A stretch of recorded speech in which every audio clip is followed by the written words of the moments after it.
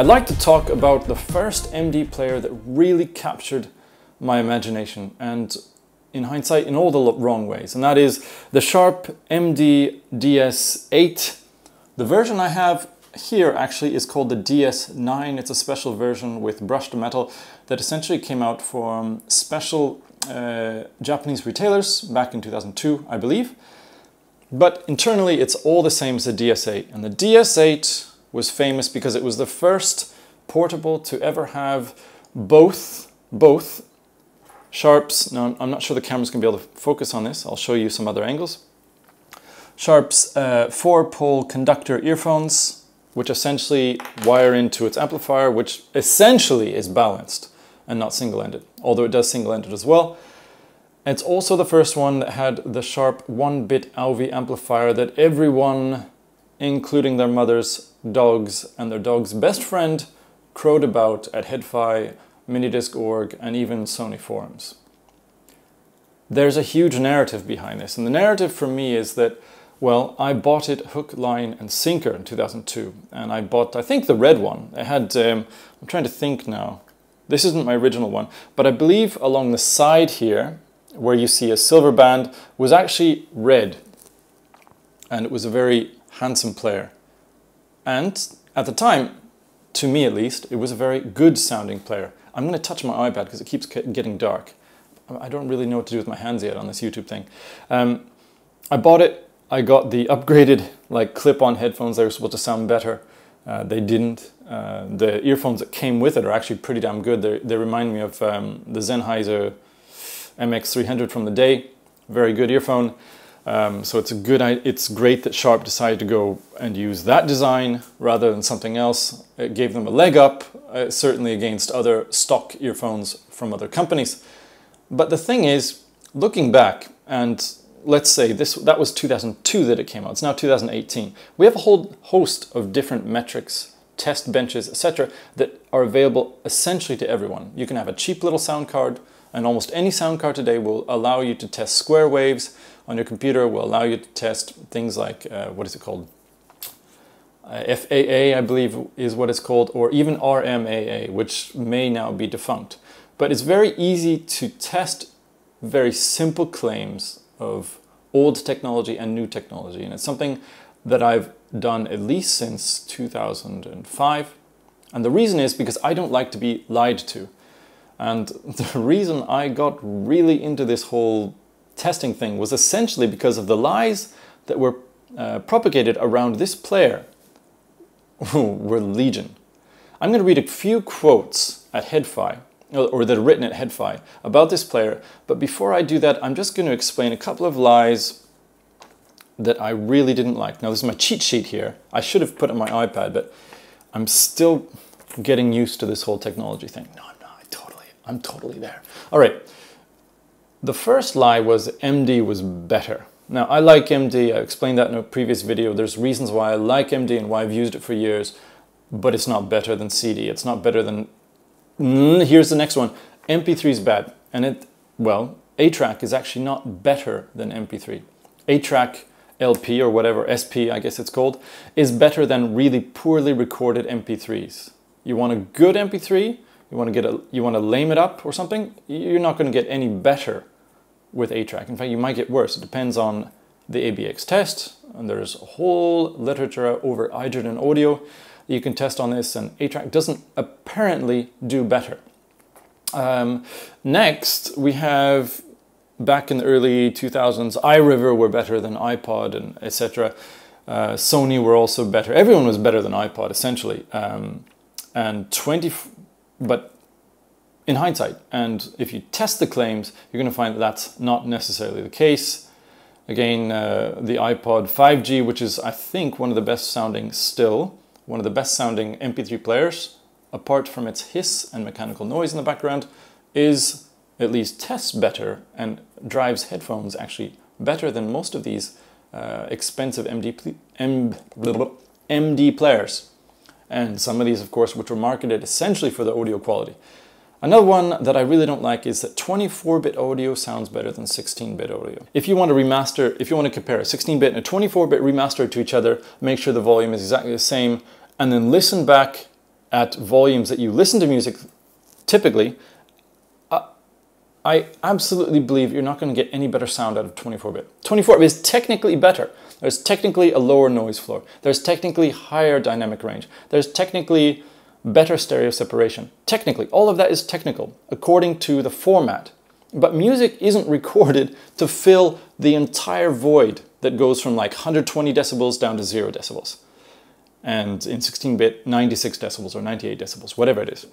When you listen to music, you're not listening to music that loud. In fact, if you were, you'd probably hurt your ears. 24 bit is better. Theoretically, it is, yeah. Um, and that encompasses high res audio as well. So all those arguments for 24 bit audio go straight at the high res argument as well. But my favorite one, my favorite claim is sound quality. And the reason I call it a claim is because it is absolutely personal. Everyone that has ever said, this sounds better than that, or this has higher sound quality than that, and doesn't back it up with, well, just something as simple as a test wave, showing that the, the bass on this, or say, let's say you have a, stock sound file, and then you play it back through two different devices, one that's supposed to sound better and one that's not supposed to sound better, or one that's supposed to sound worse.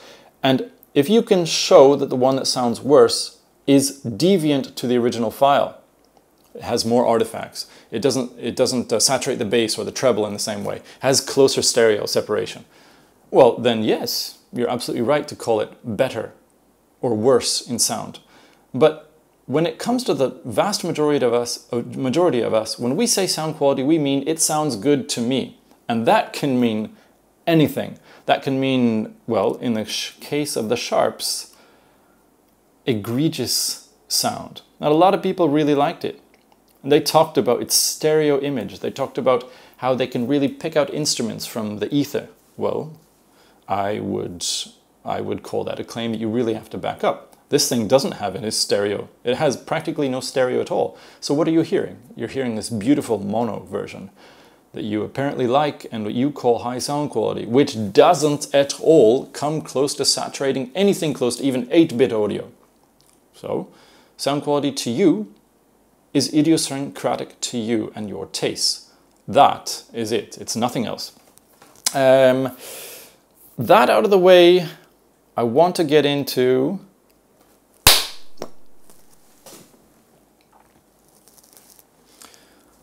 That out of the way, I just want to read a couple of quotes on HeadFi about the Sharp DS8 when it came out. And I will put a, a, link in the subscription at the bottom of this or the notes section of this uh, video. But here's some of the things that normal people were up against. And this isn't any of the marketing. I'm not going to share the marketing in this video. Um, the marketing was egregious, but the reactions, and I think most of us who are not using our skeptical minds reacted to the marketing and the looks of the player, because it is very beautiful, as well as this digital amp, one bit. Shivers. First quote. First 20 minutes and I like the sound. The non-4 conductor, wait, the non-4 conductor D66 and ER4S sound somewhere between fine and sublime with the DS8.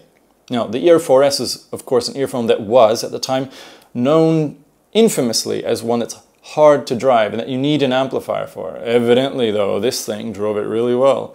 And of course, I don't agree with the idea that you need an amplifier for the ER4S, but the essential narrative was that you need one. But the Sharp managed to pull it all off. God bless you, Sharp. All right, second one. I'm kind of wide-eyed at the DS8 right now, too. Someone called it the first portable that sends chills down my spine in a long time, and it's almost doing that to me. Ooh. That's my reaction to that comment. The reason is, yeah, sure, maybe it sounds good to you, but what is it that sounds good to you? Is it, and this is true, the fact this thing has no stereo image? Is it the fact that you like your music to be closed in like this, that you don't actually like a stereo spread? Is it the fact that you like 86 decibels of dynamic range rather than 98? What is it? What is it? Second, third, actually, here's a cool quote. I'm going to call this kudos. This person says, it looks good even compared to the ultimate good looking portable, the MZ-R37. The MZ-R37, of course, was my first long time uh, portable recorder from Sony. It looks like something out of the 70s. It's a like a 70s like boombox sort of thing, compressed, stuck into a CD format or mini disc format. It's a beautiful little player. I'll show you a link in the description. The Fujifilm decided to do its 15 minute marker, so we're going to reread part of the list. Thank you, Fujifilm. You're awful. All right. The DS8's most unusual quality is its ability to interpret, for lack of a better word, true, the spatial relationships that exist in your music. Individual instruments are audible more by themselves and less muffled by each other. Strong distinction of what's at the forefront, what's running circles between LR channels, and what's in the back down at the sides. The way the echoes surface and disappear, the quieter elements, it's a very special sound. Very expressive, yet also satin smooth. Hmm. Like my no. When I say the DS8 sounds clean, it bears more resemblance to the good kind of analog clean, not a deliberate, repeated application of the sharpen tool in Photoshop. That is a cool analogy, if it made any sense at all to what was being said before. Satiny smooth, running circles. By the way, running circles is probably actually a good analogy because the left and right channels of this thing bleed into each other so much, they're practically bumping into each other like a hamster going blah, blah, blah, like that if there's a line cleaving between the two and the wheels just getting cut off and cut off and cut off. This thing does not have good stereo separation. It does not have good dynamic range. It does not have a good noise floor. It has horrible THD and IMD. So what are you hearing? What are you enjoying here? What does all this audiophiles actually say? It says that you like, testably, bad outputs. They sound good to you. And you know what? I understand that because I like another a number of testably bad outputs. There are a number of valve amps that I really love the sound of, but they're horrible in terms of how they test on a bench. That doesn't mean their sound quality is good because I like it. It means I like it. Now let's go to number five. The highs are there, but hardly ever harsh or piercing, and the bass boost has such a clarity to it. All the thump, none of the fluffy edges. It makes Sharp's older digital bass boosts sound like they were not digital boosts at all. Vocals that usually sound like sticky, tinny lump, not with an S there, so I guess I would be like sick, whatever, um, often opens up on the DS8. I record 10 to 12 hours of radio broadcasts, then they say the spec, um, to LP4 every day. And depending on the source, LP4 will generate artifacts of its own, but they sound less harsh on the DS8 too. Now, I don't, you know, I can't really talk to his claims on the LP4 or his radio broadcast. But I can say that there's probably a reason why it sounds less harsh, and that is this thing bleeds channels so much that in some way it works as a crossfeed. Now, crossfeeds can work wonders for headphone audio, especially because when you're listening to speakers, you're getting sound going from, from both channels into both ears. Of course, a little bit, uh, the sound coming from the left channel will be louder in the left than it is on the right because your face occludes the sound coming into your body, etc.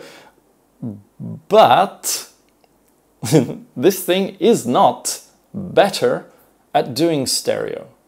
And its highs are cut off from 16 hertz to 24 hertz, or sorry, 20, 16 kilohertz to 20 kilohertz. The sound takes a dive. It's got a high pass filter, low pass filter, low pass filter. It takes a dive. And uh, that could be why it's less harsh. Last one for driving the Etymotic 4S, the DS8 feels like it's got more juice than the MT770, which is rated at the same 5 plus 5 milliwatts at 32 ohms. I think the DS8 is capable of driving the uh, 4S nicely. The funny thing about this was the 4S was an earphone that basically had people, especially at HeadFi, in a tizzy. Do they get an amplifier? Do they need an external amplifier for their MP3 or their maybe their uh, mini disc player or the iPod? A lot of people said yes. And that was one of the first earphones that really got people into the portable amplifier business. But this output, which is weaker by far than an iPod of the same generation or some MP3 players as well, is evidently able to drive that, that player, that earphone, which is of course the one of the ones that drove the whole amp buying business, which is no longer really a thing. The narrative about this player was all messed up. It was all audiophiles and really, looking back, I don't think anyone had any idea of what they were talking about. Not that they do today. Audiophiles, generally, we are magic believers. We believe marketing, essentially. We believe in new technology. Um, we also believe in spec sheets And that really comes up if you look at the HeadFi articles on this player. But that's really beside the point. The point is that this player, let's scoot down here and just look at some of my results on Rightmark Audio Analyzer. So if we had a 16-bit file, just a test file, it's supposed to have a certain number of um, metrics that are met. And if they're not met, you're not actually getting 16-bit audio playback. What you're getting is a lot less. And that would be noise level of 98 decibels, I believe, dynamic range of 98 decibels, total harmonic distortion of 0.003 decibels, uh, or percentage, sorry.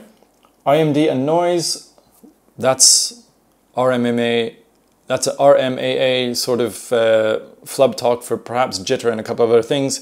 Uh, 0.0035 and stereo crosstalk of minus 99.5. That's a test file. That's what that that's what this would have to achieve if it was capable of replay um, playing back 16-bit audio to its full extent. Now let's read how this player actually performs. Without a headphone attached, here it is. Noise level minus 86, so about 10 decibels off of the target. Dynamic range 86, also 10 decibels off. total harmonic distortion 0.149, which is like a thousand, no, almost a thousand times off. Uh, IMD and noise, which is 0.126, which is some hundreds of multiples off. And stereo crosstalk of minus and this is what probably a lot of people liked about it. Minus 24.2. So there's no stereo. There's, there's basically no stereo image. You're basically getting such a strong crossfeed that he, you don't really ever get a separated channel to the left or the right. Now, I agree that that can sound good, but it is not actually good sound quality. Now, Rightmark Audio Analyzer, all of its goods and bads, there's many of them, and it's not a proper sound testing bench, but it's a good small amateur benchmark for basically everyone like me, as well as anyone that just wants to test. Does your player or your amp play back the earphones that you want properly? And you could test that with some success. And it gives you a summary at the end. And the summary of the Sharp is, let's read it for all these categories. Noise level. Oh wait, first, frequency response, average that's because at the highs, it loses two decibels. I'm not sure that's really all that audible, but I think a lot of people basically sussed up that they felt that the highs were smoother, and that could be part of it. I think the other thing is the stereo dynamic range is so poor that you get a lot of crossfeed, and because of crossfeed, you actually get perhaps softer highs. Noise level, minus 86.2. That is considered good by RMAA. Of course, it's not 16-bit. Dynamic range of 86.8, also good now this scale goes up to excellent and goes down to like very poor. Dynamic total harmonic distortion of 0.149 is average. IMD and noise of minus 54 is poor. Uh, sorry, that's THD and noise. IMD and noise is 0.126 average. Stereo crosstalk of minus 24 is very poor. And IMD at 10 kilohertz of 0.155, which is Essentially, this Sharp doesn't have a single metric where it gets excellent. The best it gets is good. The worst it gets is very poor. In fact, I've never tested a, a unit of any type that gets very poor on any metric. This is ridiculous. However, a lot of people liked it. So what can we really deduce? Well, what we can deduce is that people liked the sound of this player. And that's not a bad thing. You can like whatever you like.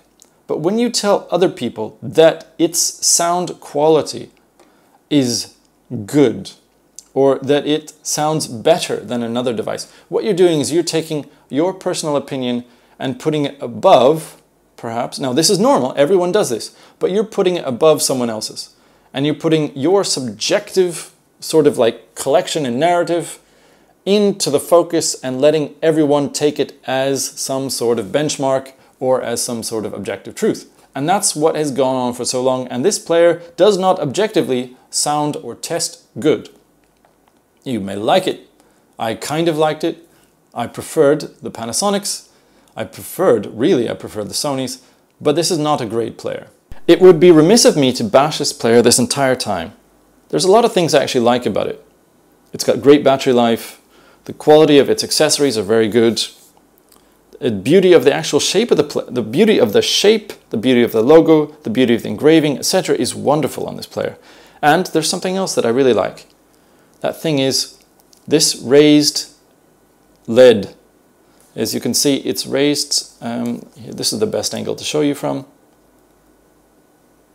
It's got a soft raise here, like there's an ellip elliptical ball, like trying to push right through. When you hit play, it flashes. There's also error marks or um, error indications depending on if you have hold or you're trying to do volume and you've got hold on or you try to do something the player cannot do, it flashes to tell you that there's a problem. It also flashes when it's charging. It's, a, it's kind of a unique and I would say beautiful indication pattern as well. It's stuck in this like Sigma Delta logo, um, which Sharp made big brouhaha about. And better than that, let's hit, well, let's look at the controls here. Play, track forward, track back, stop, and volume up and down. Volume up and down are very easy to tell that they're different from the other ones because of the shape of the well that they're in, one, and two, they're smaller and they're attached via a strap, well, not a strap here, but like some sort of isthmus here, channel, and everyone else is in their own little well. It's a very nice and easy to understand control system. It's not quite as easy as the Sharp, or sorry, Panasonic MJ17, of course, which has all the controls in thumb-sized buttons on the front, but this is a nice array.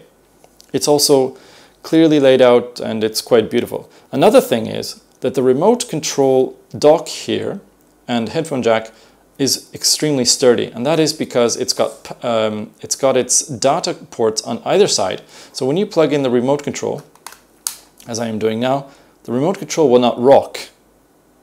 It's sturdy. You're not going to find a lot of problems with headphone jacks on these sharp units. Finally check out this one touch eject and I'll make sure I have this stopped. It just okay. Are you sitting down? Don't blink. Bam!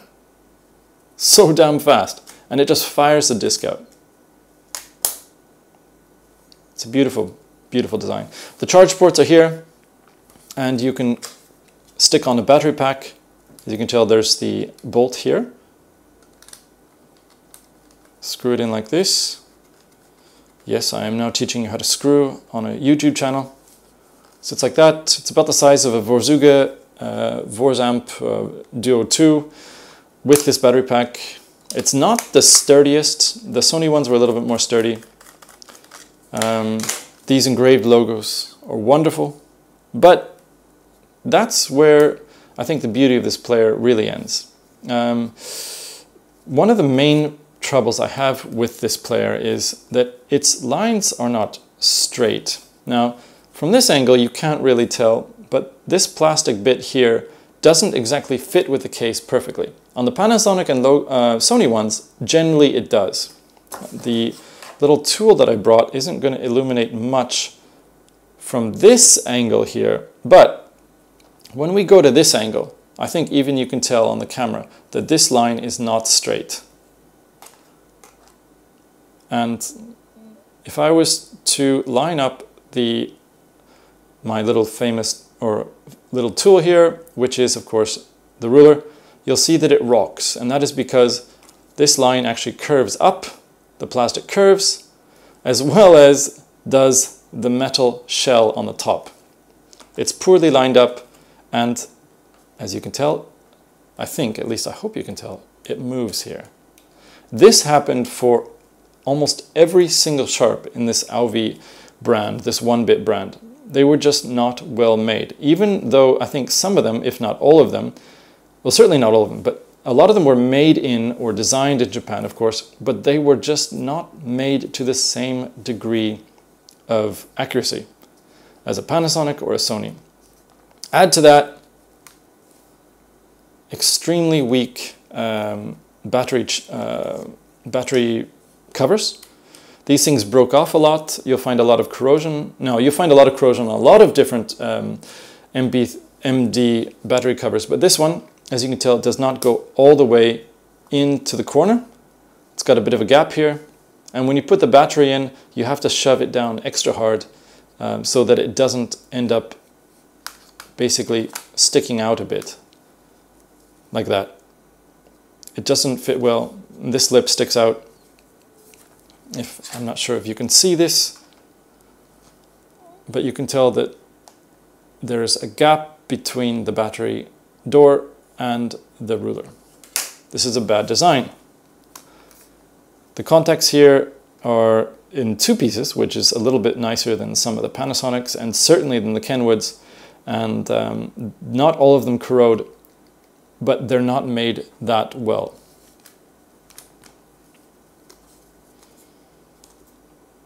Finally, let's see, where is it? Ah, the clamshell itself jumps up and down because it's not properly anchored on this corner. This happens on basically all the Sharps.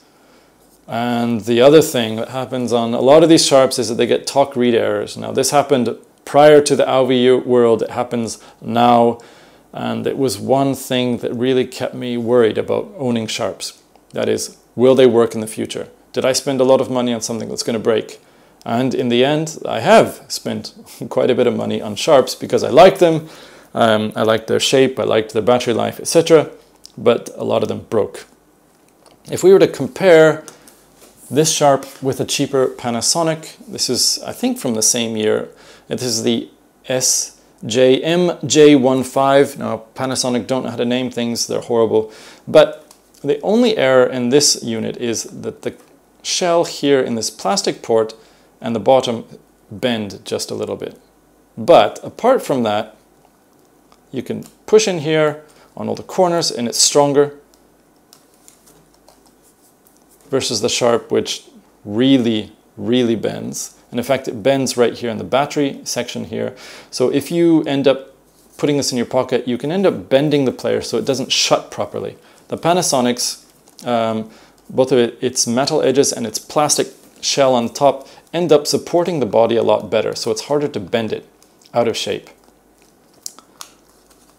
The battery contacts here are not as nice as the Sharp, and the battery um, door is not high quality either, but it locks into better shape and braces itself against the plastic edge here. And of course, the plastic edge uh, here is all straight all the time.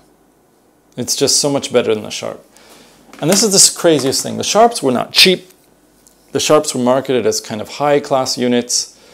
Um, people thought of them that way, but they were not made well and they tended to break. And they had horrible remote controls. This is not the one I wanted to show. Oh, this is the one I wanted to show, I think. Here, let's connect it. I'm gonna hit play, which is here. You can tell the Sharp is now playing. But check this out. There are one, two, three, four, five, six buttons on the bottom. And the only way you can delineate each from the other is that there are two raised dots on the stop button, one raised dot on the play and pause button, but there are six. And on the top, there are four. The problem with this is if you want to adjust group or mode, play, or the bass sound quality or sound uh, enhancement, you can hold it, but if you hold it like naturally between your fingers like this, you're going to press a button on the bottom. So you'd have to hit hold. But if you hit hold here, then you can't adjust anything here. So the way to hold it is like this. If you have headphones here, it means that you can't grip here. It means you have to hold it like this, obscure part of the screen, and lose a bit of the pressure that you would when you're pressing down on it. So the player, the remote can move a little bit out of your fingers. This is a poor design. And there are six buttons here for navigation. They should have had maybe perhaps a joystick here, or they should have put volume on the top or on the side. Instead, everything is on the bottom. And it is really hard to operate unless you are looking specifically at it. This is not a blind operable remote. It is well made though. Has a nice little shirt clip on the back. And uh, let's check out cool stuff that it does here. Let's hit play. Ooh, look at that. It's making the disc spinning logo. Ooh, and there's a boat. Now that's cool. I like kind of like the boat. Battery indicates in three blocks here. That's all right. Well, everyone, I'm sorry for this kind of sort of abrupt change in auto white balance, etc. But the Fujifilm, this camera here, this camera here that's autofocus is pretty damn good uh, in basically everything and, and video and all that and has a decent grip and is a lot cheaper than SL and all this blah, blah, blah, has horrible battery. It's now died on me several times and I'm just sick. If I just want to eat it and like shice it out um, and just not worry about it anymore. I want to sell it. I want to get rid of it. I want to get the Sony a7 III because this thing is just, at every chance, it just bothers me. So I'm filming this with the SL. Um, but that's my goodbye for this player here, which is a Sharp. You know, if you're looking to get into mini disc back in 2018, sorry, if you're looking to get into it, there's a lot of great mini disc players out there, and you can get good ones that have great battery, that are made well, that sound good, have low noise floors, and that will probably last you several years, if not longer. But I do not recommend this Sharp, the DS8, which of course was all ballyhooed back in 2002, 2003 as the best sounding, and some people said well made, etc. player. It is neither of those, at least against any sort of objective benchmark. But you might like it. At least check it out. But for me, I'm getting rid of all my sharps. That is one, two, three, four, five, five units. I've got five sharps. I've liked them over the years, but I don't trust them to last. And I also don't trust them with my music because they don't test well. And there's part of me that understands that it's not all about how an item tests on a bench. It's how much you like it in your ear. But the problem is I don't like being lied to, as I explained earlier. And one of the things that really puts me down when I think about the Sharp is how much lies have been spread about the Sharp output since the early 2000s. And it's 2018 and people who used to be all gobbledygook about the Sharp are now gobbledygook about items that actually test well and they say the same damn thing. So something has to give. Either Sharp and its fans and loyal followers were wrong or today items that test well and also sound good and all the same things being said about them is all lies. I believe that it's the first and that Sharp were wrong and that its fans were wrong. I'll be doing some more mini disc stuff, some more audio stuff because that is really what gets my gears going.